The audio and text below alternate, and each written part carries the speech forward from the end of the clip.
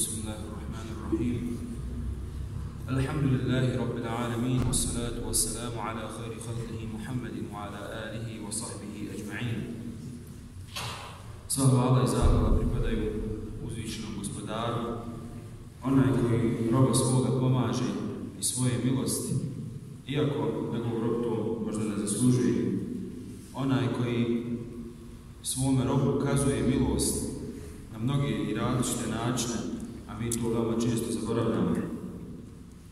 Onaj koji nam je blagodat darovao kako bi na ovome životu ugodnim i lagodnim životom živjeli.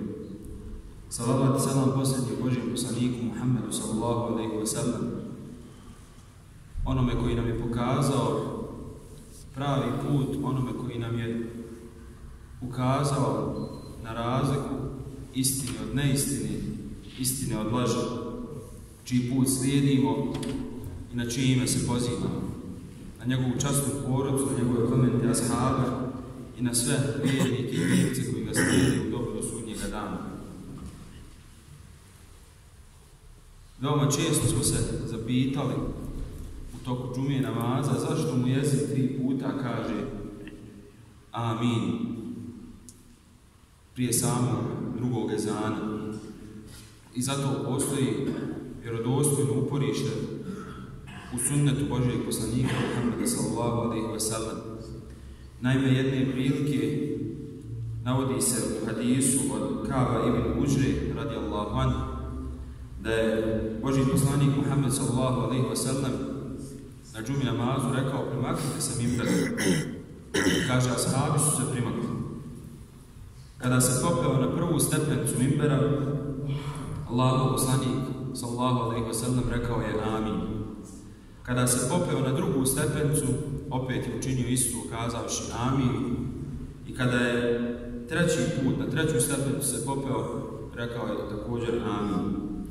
Kada je sišao sa mimbera, kada je završen džuma namaz, ashabi Allahu poslanika sallahu alaihi wasallam, da je Allah zadovoljstvo sa njima, bili su začuđeni tim postupom Božeg poslanika, zato što to poslanik nije praktikovao do tada.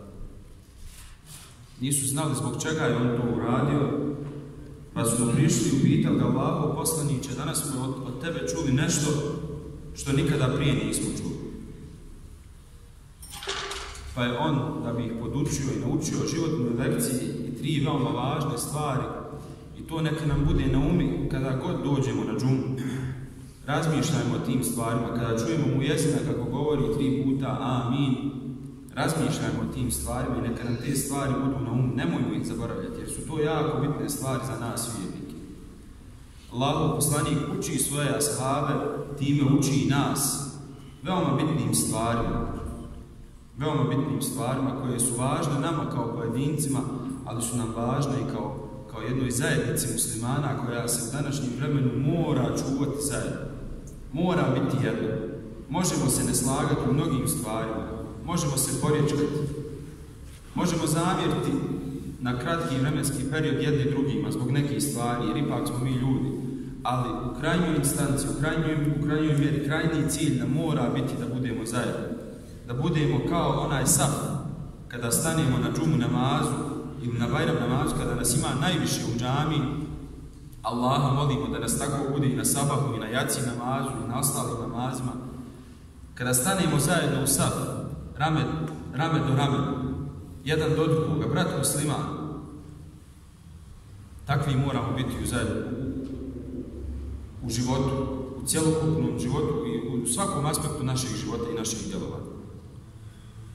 Allahu poslanik sallahu alaihi wa sallam govara ashabima, kada sam se popeo na prvu stepencu mimbera, Džibril, Džibril alaih salatu wasalam je prišao. Pojavio se predamnom i rekao Proklet neka je onaj ko dočeka mjesec Ramazan i dozvoli da mu on prođe, a da zbog toga ne zaradi oprost od Allaha Đelešanu. Ramazan mjesec nam se približio i taj vremenski period će proći kao treptaj oka i doće na mjesec Ramazan Allahu, blagodat Allah, Đelešanu, molimo da nas blagoslovi ovim ubarek mjesecima i da dočekamo mjesec Ramazana Allahove milosti. Mjesec Ramazan će nam biti onakav koliko i kako se sada pripremamo za njega. Zapamtite, mjesec Ramazan će biti onakav kakav i koliko se sada pripremamo za njega. Svaka, kažemo, kako ću se pripremiti za, za, za Ramazan, za mjesec Ramazan. Imamo sigurno svi u našoj blizini nekoga ako nam je blizak, a i ne mora biti blizak, ali znamo za njega ko je bolestan, obiđu. Ne moraš tu ništa nositi, ne moraš, samo otiđi, nasmij mu se, kaži mu jednu lijepu riječ. To je priprema za Ramazan. Svaka džamija, svaki džemat, evo, pripremaju se da, da spremni dočekaju mjesec Ramazan, mjesec Allahove milosti. Otiđu u džamiju, kaže, ja ću usisati džamiju danas. Otiđu u džamiju, kaže, ja ću, ja ću obrisati nešto u džamiju, nešto ću pomoći za džamiju. To je priprema za mjesec Ramazan.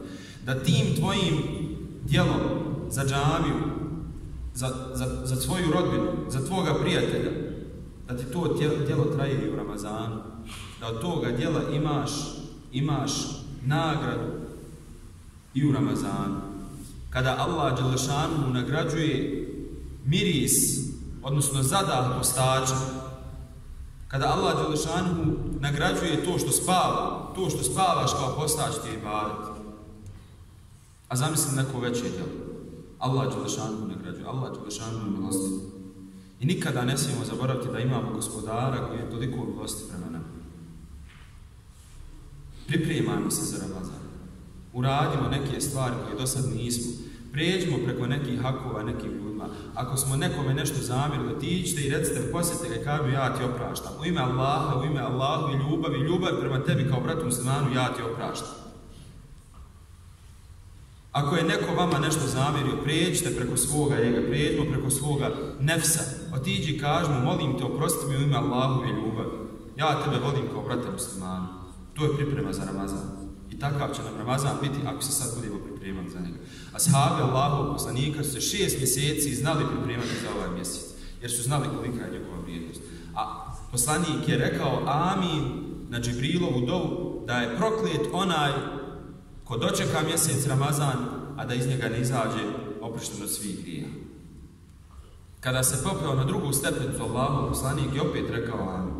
Pa kaže, tada mu je Džibril opet prišao i rekao, proklet neka je onaj pred kojim se spomeni tvoje ime Muhammed, sallallahu alaihi wa sallam, a da on na tebe ne donese salavat. Kada donosimo salavate na Božijeg poslanika Muhammeda sallallahu alaihi wa sallam, to je izraz naše ljubavi prema njemu. A ne samo to, vidite koliko je gospodar milosti prema nama. Kada mi donesemo salavat na najbolje, najbolje biće koje je hodilo ovom zemljom, Allah Đelešanu mu donese na nas deset salavata. Spomeni nas u društvu Melika i na nas imenom spomeni nas u društvu Melika i kaže deset, deset salavata na Jedan salavat Allah Đelešanu nagrađuje deseterostruku. Inna Allahu wa malaike, slušamo svaki petak, Inna Allahu wa malaike tehu i sallu na nebi. Allah i, njegov, i njegovi meleki blagosiljaju, donose salavat na poslanika. Ja, ejuhad ladina, aminu salvali. O vjernici, donosite salavata na Božeg poslanika. Jer je poslanik rekao, i neki, neki dan smo učili tu u Mektebu sa, sa djecom, sam prije nekoliko mjeseci u stvari smo radili sa najmanjom djecom u Mektebu tu lekciju da kada se spomeni Boži, ime Božeg poslanika, ali i salatu wasalam, da se donese salavat. Tako su djeca to lijepo prihvatila, jer su djeca još uvijek u fitretu, još uvijek onome u čemu, nam, u čemu nas Allah Đelešanu sve stvara. Da donesemo salavat na Božijeg poslanika Muhammeda sallallahu alaihi wa sallam. Izraz naše ljubavi prema njemu. Time se sjećamo njega, sjećamo se njegove porodice, sjećamo se njegovih dijela, živimo njegove vrijednosti. Živimo onaj stil kojim je on živi. I treća stvar, o kojoj smo mnogo puta govorili, kada se Boži poslanik sallallahu alaihi wa sallam popeo na mimber, opet mu je Džibril na trećoj stepenici prišao i kazao Muhammede, prokle neka je onaj ko doživi da njegovi roditelji ili jedan od njih ostane, pa ga njegovo služenje i briga o njima ne uvede u džennet. Proklet neka je onaj koji doživi starost svojih roditelja, a da ga njegovo služenje njima ne uvede u džennet. Govorili smo da Allah je lešanu nakon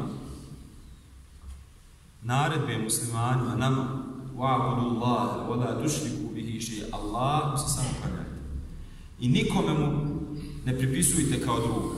I sljedeća stvar u miru koliko je to koliko je to ozbiljna i velika stvar da Allah Đalešanu nakon naredbe, nakon najvećih grijeha, jer najveći grijeh koji čovjek može počiniti u tog svoga života jeste širka Allah Đalešanu. I nakon toga Allah Đalešanu kaže i svojim roditeljima dobročinstvo činiti.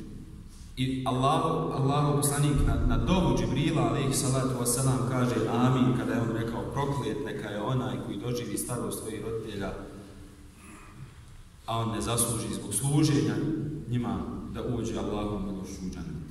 Ove tri stvari koje je Allah poslanik, koje je Allah poslanik rekao amin, a koje je Džibril, Allahov izaslanik i donosioc objave Božim poslanicima, svim Božim poslanicima, proučio dove, mora da znači veliku stvar. Mora da znači veliku stvar. Moramo se pripremati za Ramazan. Ramazan nam dolazi i u Ramazanu je poseban hal. Svi se nekako osjećamo posebno i, i, i, i cijela atmosfera i u našim džamijama i u našim kućama i mahalama i ulicama je nekako posebno. Međutim, rezultate Ramazana moramo vidjeti van njega da kada na jaciju namazu u Ramazanu dođe pet safova, da i nakon Ramazana na, na, na, na jaci namazu imamo pet safova. Na sabat namazu također. Da čuvamo svoje džemate, da čuvamo svoje međuljudske odnose, da se brinemo jedni u drugim. To nas Ramazan uči. Ramazan nam je sredstvo, odnosno Allahova blagodat kako da dođemo do cilja. Kako da popravljamo sebe, kako da popravljamo drugi, kako da popravljamo cijelo društvo salavati na Božije poslanike, sallallahu alaihi wa sallam, su nam jako bitni u našem životu. Ima ona priča za koju se kazuje da se desilo u našim krajevima da je određeni čovjek bio jako siromašan i zaduživao se kod ljudi pa se zaduži kod jednog da bi drugome vratio i tako ukrug. I onda je došao do jednog trenutka kada više nije imao od koga da posudi novac. I počeli su ga ljudi pritiskati. Vrati mi pare, vrati mi pare, vrati mi pare. I on se našao u bezizlaznoj situaciji. I takvi smo mi ljudi. Prvo tražimo od ljudi i to je jedna lekcija nama. Prvo tražimo od ljudi pa onda kada više nemamo izlaza tražimo izlaz kod Allaha Đelešanu. Prvo trebamo se osloniti na Allaha Đelešanu. Ma je te ala Allahi fa huwa hasbu. Ko se na Allaha osloni, kaže Allah Đelešanu u Kur'anu, on mu je dovoljno. Nikomu više ne treba. Jer ako je Allah zadovoljan sa mnom i sa tobom, pa makar cijeli svijet bio protiv nas, to nam ništa ne znači. Ako je cijeli svijet na našoj strani, ako je cijeli svijet na našoj strani, Allah nije zadovoljan sa nama, mi smo gubitnici. I kada više nije imao izlaza iz te situacije, taj čovjek je pao Allah na seždu, klanjao je noćni namaz i zamolio Allaha Đalešanu da mu dadne neki izlaz, da mu, da, da mu dadne nešto što će ga izvući iz te situacije. Allah Đelešanu mu nasan šalje Božijeg poslanika Muhammeda sallallahu alaihi wa sallam. I kada je ugledao poslanika, znao je da je to poslanik iz opisa koji se spominju hadisima i dok se nije probudio, kaže, kaže poslaniku, Boži poslaniće, u takvom, takvom halu, u takvoj sam situaciji, nemam gdje, nemam kud, pomozi mi šta da radim. Kaže mu Boži poslanik, otiđi do tog, tog čovjeka, imenom ga spomene i reci mu da sam te ja poslao i da će ti on dati onoliko koliko ti potrebno da otplatiš svoje dugove. Kaže mu ovaj čovjek, Boži poslanik će otići čovjeku tako i reći reći mi da sam lud. Kako ću, šta će mi garantovati to da si ti poslao? Allahu poslanik sallallahu alejhi ve sellem kaže: mu, recimo da sinoć nije donio salavate koje donosi godinama na mene. I ovaj čovjek kada se probudio ujutru, spremio se i brže bolje kod tog čovjeka i kaže mu, šaljem Allahu poslanik, sinoć, ga, sinoć sam ga sanjao i rekao je, objasnio svoju situaciju i rekao da ćeš mi ti pomoći, da ćeš mi dati te pare. A kaže, garant ovoga da ja govorim istinu jeste to da sinoć nisi donio salavate koje godinama donosiš na Božeg poslanika. Kaže ovaj čovjek zaplaka. Kaže, tako mi Allaha godinama ovo radi, zato ne zna, ni, mo, ni, ne znaju ni moji roditelji, ni moja majka, ni moj babo, ne zna ni moja supruga, ne znaju ni moja djeca, niko od mojih bližnjih ne zna zato. A sinoć sam, kaže, bio, bavio se trgovinu, kaže, sinoć sam bio u nekom halu, nekom poslu, tako da nisam stigao silnih obaveza da donesem salavate na Božeg poslanika. I ode izvadim novac, kaže mu, ovo ti je od mene, otplati svoje dugo. Šta znači salavati na Božeg poslanika? Takva počast da te poslanik još na ovom svijetu poselano preko nekih ljudi i da ti kaže i da te opomeni i da se zapali na taj način što da njega donesi. I treća stvar, briga o roditeljima, odnosno briga o starijim ljudima. Ako nemamo roditelja, imamo možda starijeg amiđu, starijeg dajiđu, stariju tetku, brinimo se o njima, pomažimo ih, onoliko koliko možemo, možda ne možemo financijski, materijalno, ali možemo otići porazgovarati sa njima, to njima mnogo znači. Samo onaj osmije, kada znamo da smo tu za njih, to je njima veliko kupanima. Zbog toga brinimo se ovim stvarima i molimo Allah da da Ramazan dočekamo onako kako on to zahtjeva od nas, da se uvijek sjećamo Božeg poslanika i riječima i djelima i da se brinemo o svojim roditeljima i svojim starijim osobama u našem društvu koje su možda sebe dali da smo i danas bili tu gdje jesmo. Amin, ja alamin. Allah